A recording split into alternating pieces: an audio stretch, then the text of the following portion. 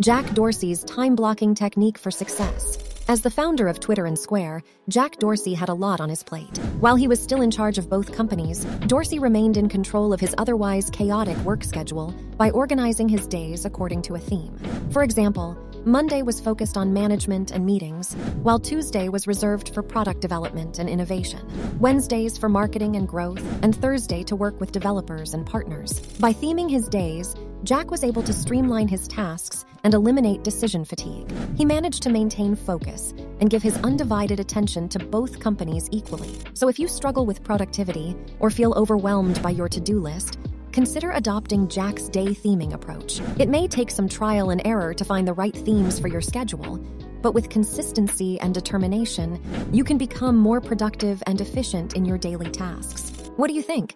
Tell us in the comments.